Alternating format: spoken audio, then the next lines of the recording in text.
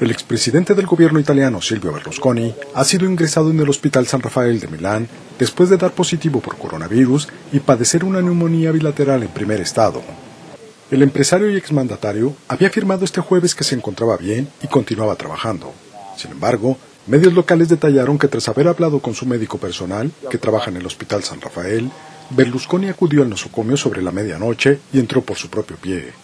Hasta ahora, se sabe que el líder de Forza Italia se encuentra aislado en la planta sexta del hospital, donde ya ha sido ingresado en otras ocasiones. Quiero asegurar que estoy bien.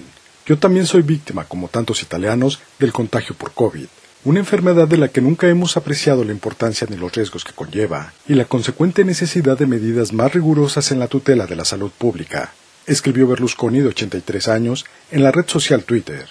Además del exmandatario, dos de sus hijos, así como su actual novia, la diputada Marta Facina, de 30 años, han dado positivo al coronavirus.